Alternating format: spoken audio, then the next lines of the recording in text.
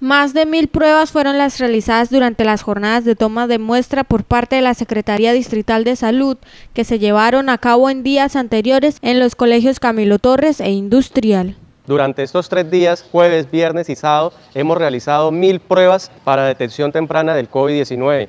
Hemos detectado positivamente algunos casos y hemos cortado las cadenas de contagio. Esto es importante para que la curva epidemiológica y la velocidad de contagio en el tercer pico no sea perceptible para los barranqueños y no colapsemos el sistema de salud. Estas pruebas, en el marco de la estrategia PRA, se realizaron con el fin de evitar que se aumentaran los casos significativos por COVID-19 en la ciudad después de Semana Santa.